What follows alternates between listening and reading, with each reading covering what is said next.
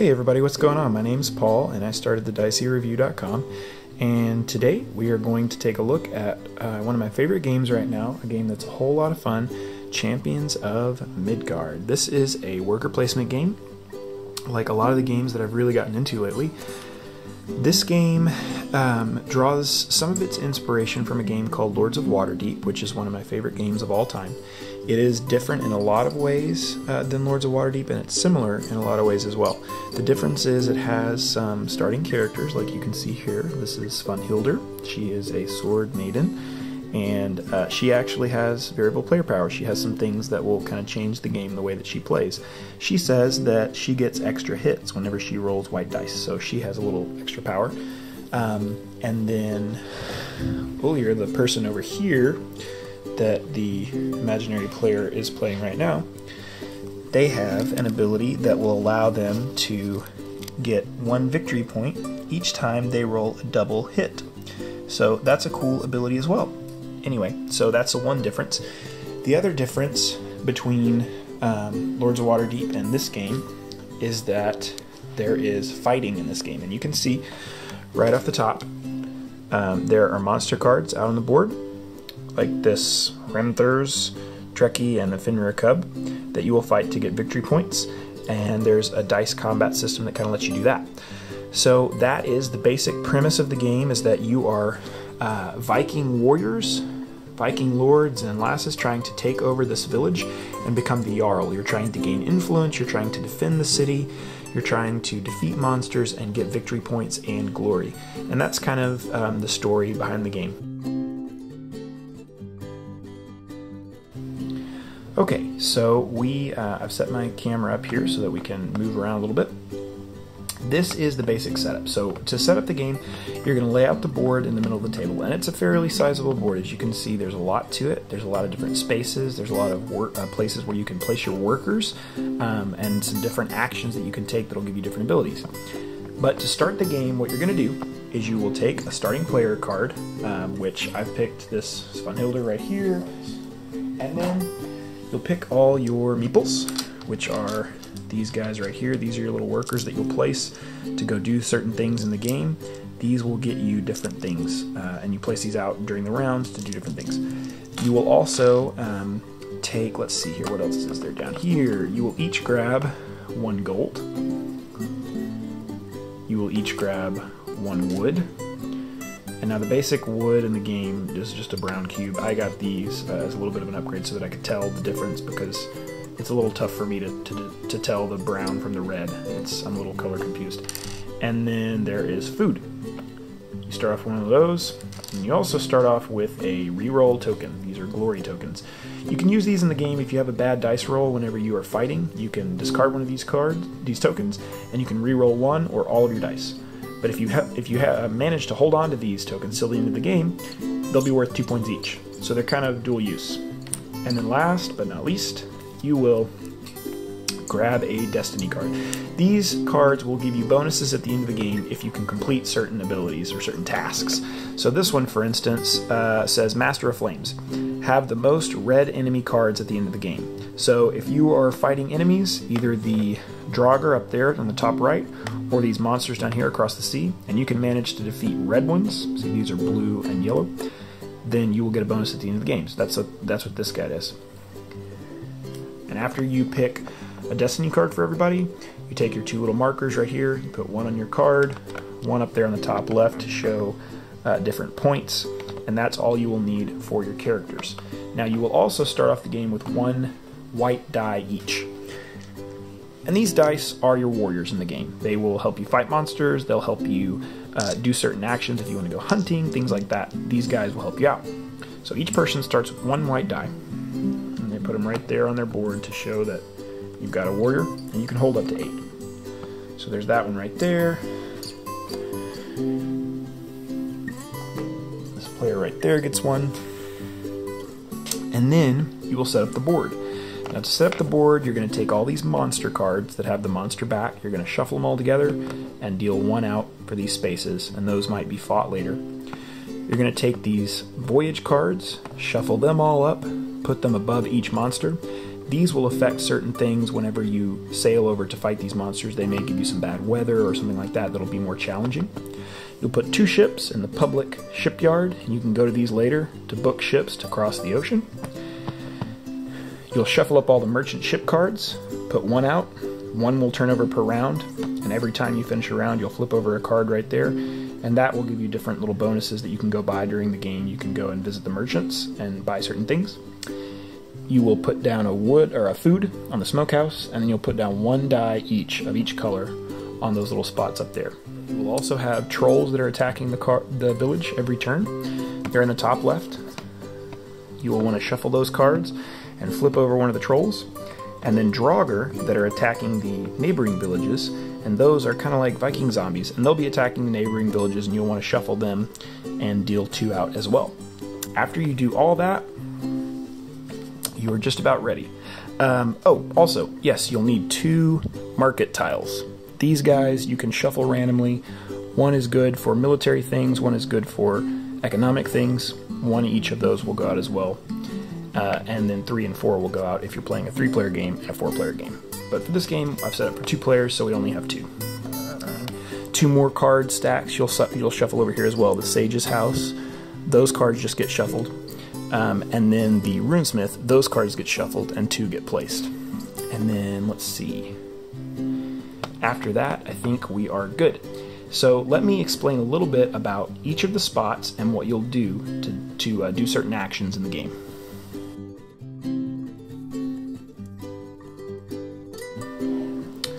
So, as I said in the beginning, this is a worker placement game. And what that means is that each player is going to have a set number of workers that they have, meeples usually of some kind, which we've got our four little workers here.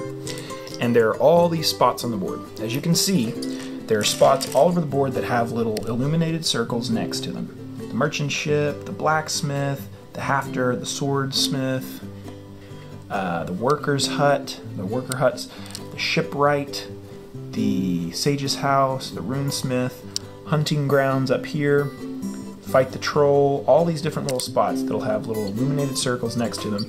And what you do in a worker placement game is you take one of your workers, and there can be any number of different places that you can take your workers and put them.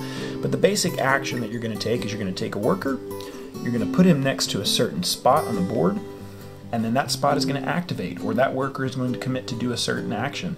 And after you do that, you'll get some kind of a reward. Sometimes you may have to pay some goods or you'll activate an action that you can take later in the round. But that's basically what you do.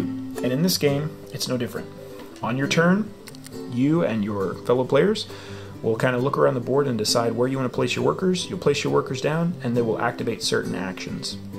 That's the main mechanic of the game. There's a couple other things that you'll be doing, like fighting down here in, in later rounds, but for the most part, you're placing workers.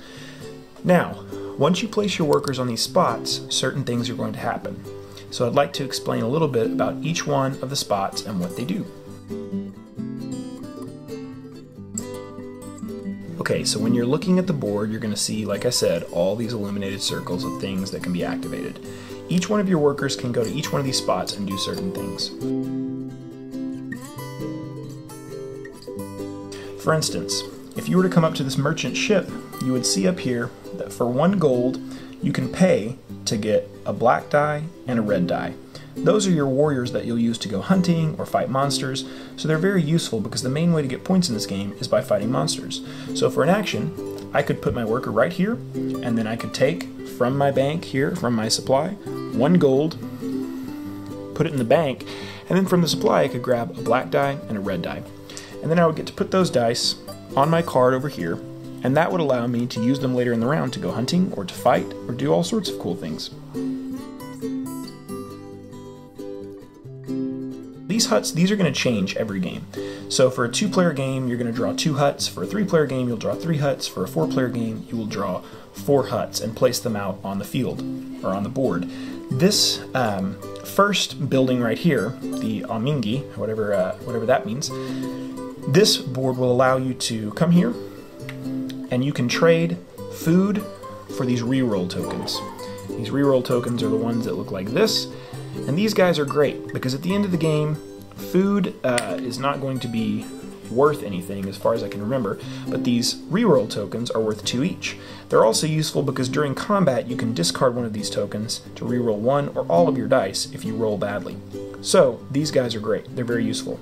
You can come here to trade food for reroll tokens, and you can do that a max of three times per action. So you could come there and trade up to three food for three reroll tokens. Pretty good action. This one up here, you could come down here and you could trade one food for two white dice. Once again, that's another way to get more workers that will help you out to fight these monsters. That's a great action.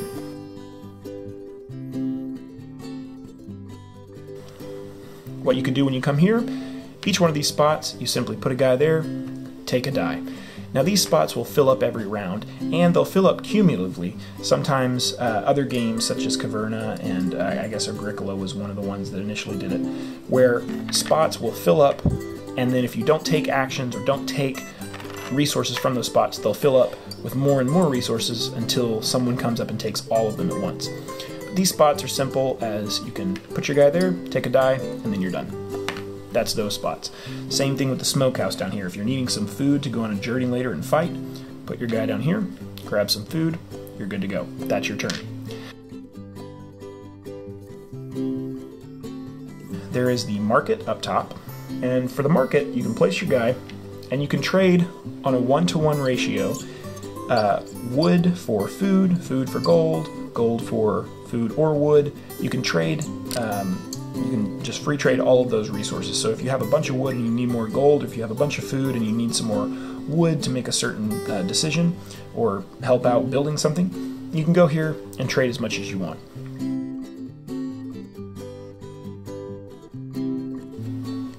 If you come down here to the worker's hut, this spot is pretty neat because as you'll see there's some extra meeples out on the board. Now what's going to happen at the start of every game is that once you um, take your three or four meeples, depending on how many players you're playing, you'll put an extra meeple out here at the worker's hut. What you can do is you can come to this place, and the first person to come here can pay five gold and grab their extra meeple, and they can use this guy in this round and in all subsequent rounds. So you'll have more workers and can do more actions per round. It's a pretty great move. Also, the second person to come here only has to pay four. The third person has to pay three, two, and so on, um, with the cheapest being two. So the last person to come here is going to pay the least amount of money to get their extra worker.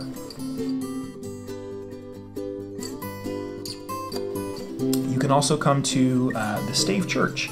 This place will allow you to trade gold for reroll tokens. So similar to this spot up here where you can trade food for reroll tokens, this spot is here every game, and you can come up here and trade different denominations of gold for reroll tokens that will be worth money, uh, victory points at the end of the game, and can also let you reroll certain things um, depending on if you roll badly.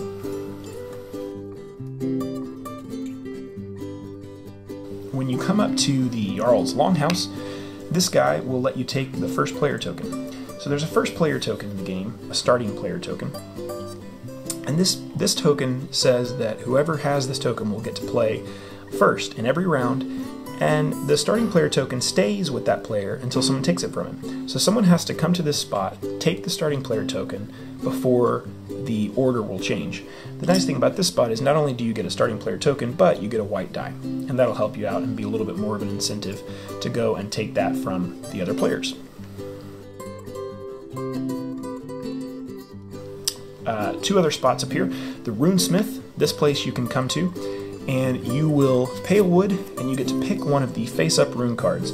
These cards are good because they will give you some type of ability that you can flip over at any time during the game, usually during combat is when they'll take effect, and they will give you some kind of a bonus.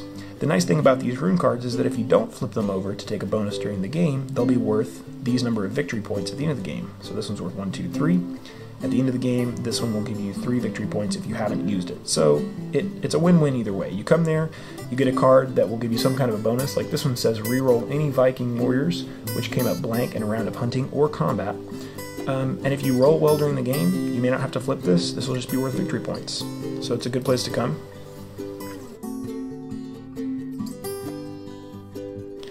Right below it is the Sage's house.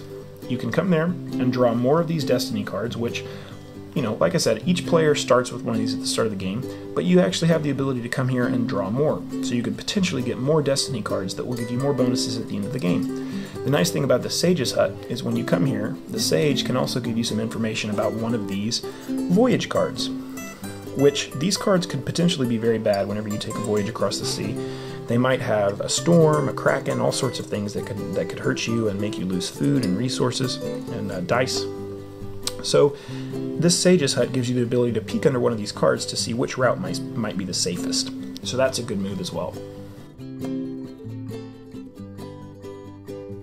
Now speaking of sailing, down here you can come to three different spots.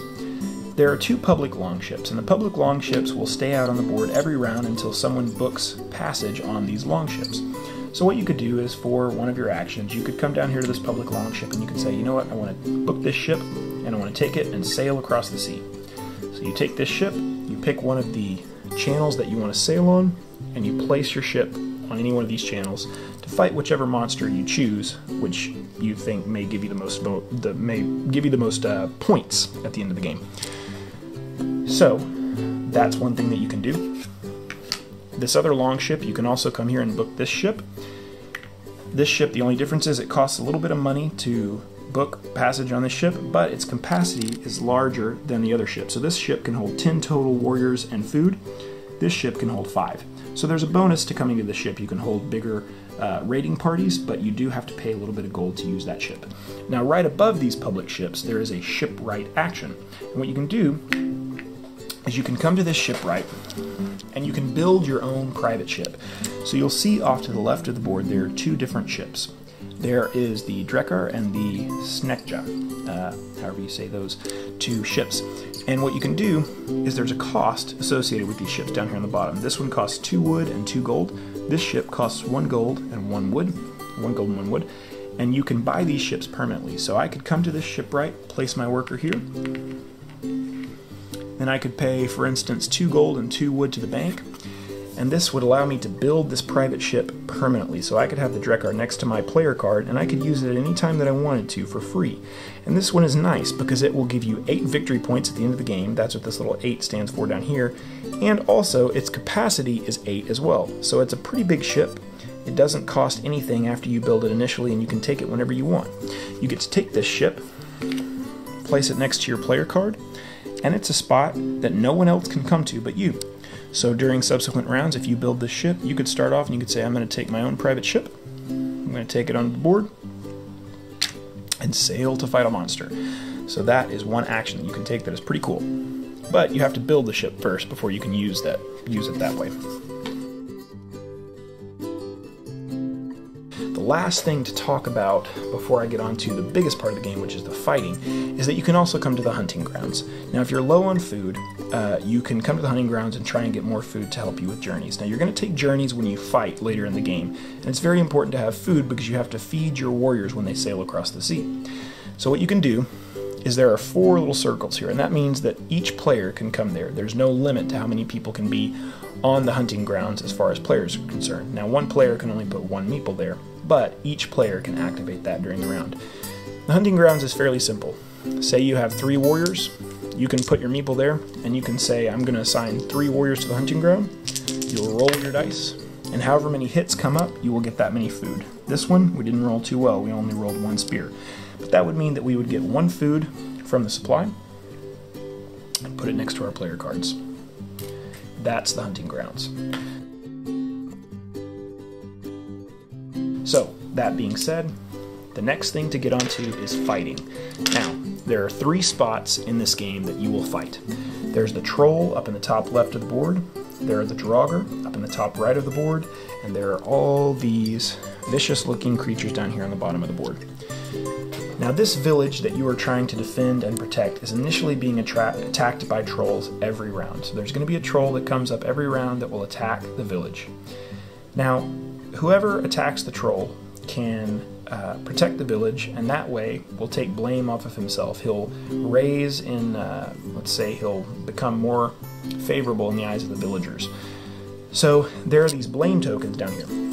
Now, every round, if no one fights the troll, everyone will get a blame token, meaning that all of our heroes didn't take the time, didn't man up or, or girl up to go fight this troll. And that means that everyone will get blame tokens. These tokens are worth negative points at the end of the game, so you want to try and get rid of these if you can. The nice thing about taking one of your guys and fighting the troll, they are an action that you have to take. But you can say, I'm going to come fight the troll. What you'll do is at the end of the round, you will assign a number of dice that you've collected to fight the troll. And if you are successful in beating the troll, you get to get rid of one of your blame tokens. So you can take one of your blame tokens that's piled up next to your player board here, get rid of it, and you get to blame someone else for not helping fight the troll. So you could give it to any of the other players around the board. They would get negative points at the end of the game, and you would get points scored for defeating that troll. So that's one thing that you can do. You can come up and fight the troll. Now, you can also fight the Draugr up in the top right of the, uh, of the board here. You can take one of your workers, and there are two different spots that you can use to fight the Draugr. You can fight this one, or you can fight this one. Draugr are nice because they will give you certain bonuses at the end of the game, and when you fight them and defeat them.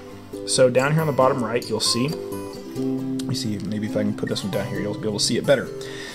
So down here on the bottom right, you can see that they are worth 4 gold if you can defeat them. They're worth 6 victory points if you can defeat them and they have a color. So at the end of game scoring, if you can get a set of three different colors of monster red, blue, and yellow you'll get five extra points on top of that. So these Draugr are nice in a lot of ways. The trolls don't have colors, so fighting them, you just get a wood, some victory points, and you get to pass blame on someone else. These Draugr, though, will give you bonuses in the form of gold, victory points, and then bonuses at the end of the game depending on their color. So they're pretty nice.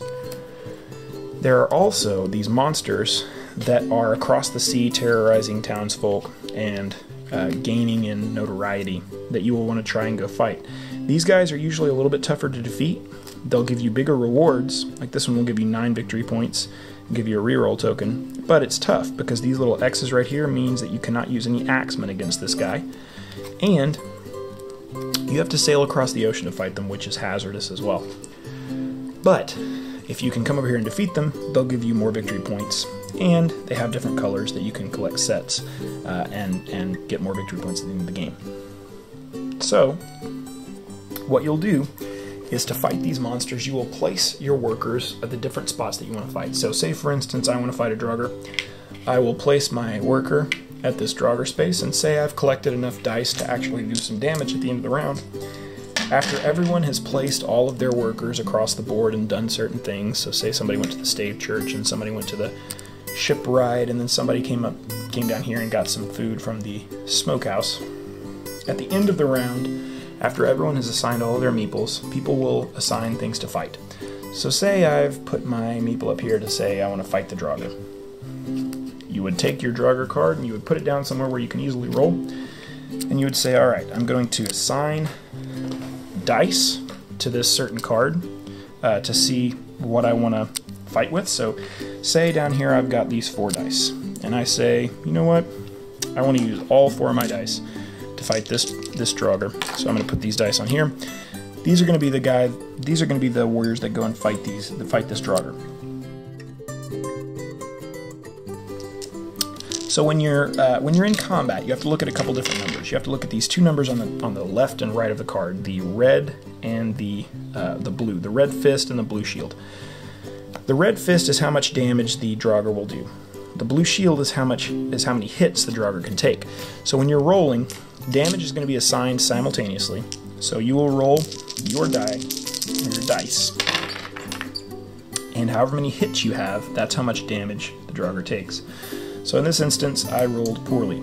The Draugr does 2 damage to me, and I only do 1 damage to the Draugr, which means I would lose 2 dice.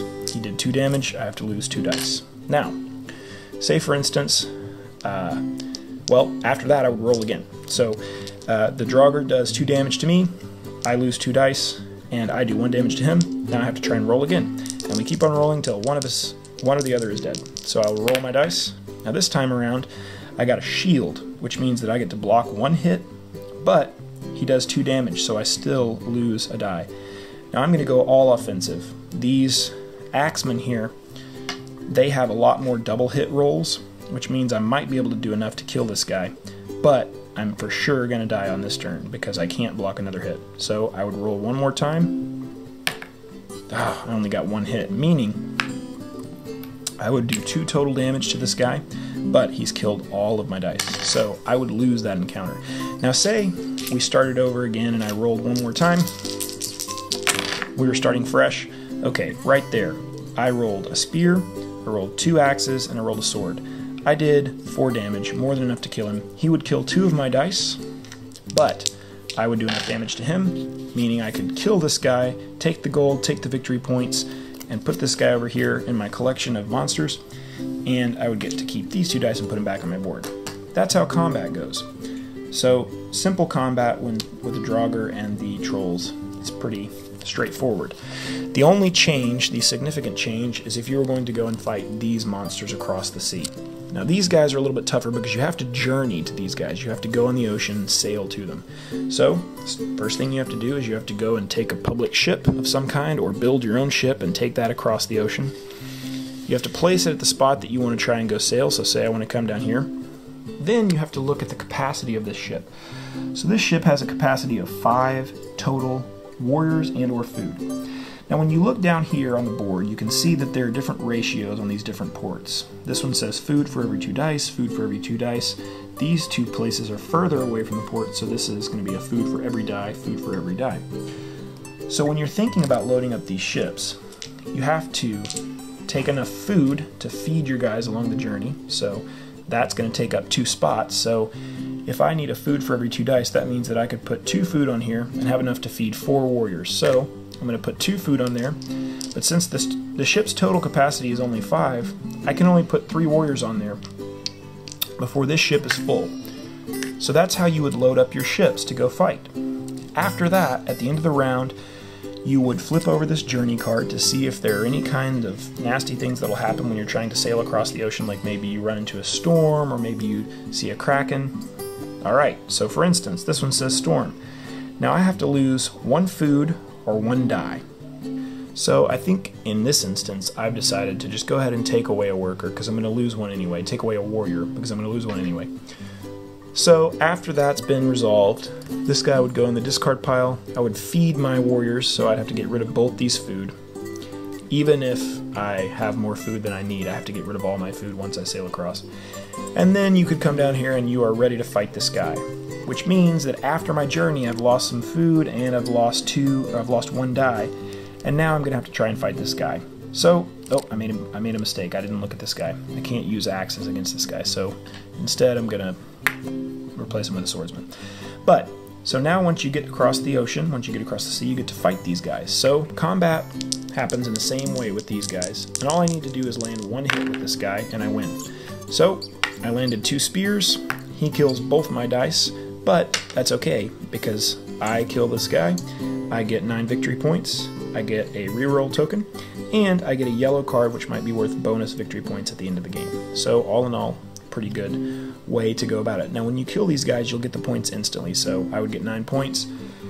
I would move my point token uh, tracker up here, the, the point tracker across the board nine spaces, and that's how you keep track of the score during the game. Now, at the end of every round, you're going to refill all your spaces, you're going to take back your workers, you're going to flip over new monster cards, troll cards, and everything like that. And then you're going to move the round marker by one, and then you're going to do that for eight rounds. And then at the end of those eight rounds, you'll count up the points, and whoever has the most victory points, surprise, surprise, is going to win the game and be the Jarl of the village. So that's pretty much how you play uh, Champions of Midgard. Uh, and I will probably do a little bit of a review, uh, maybe like a thoughts video on how you know how this game plays and what I think of it. But those are the basic uh, those are the basic gameplay mechanics. Those are kind of how it works, what the different spots do, and how you win the game. So if you have any questions, remember you can always email me at thediceyreview.com. And until next time, I'll see you at the table.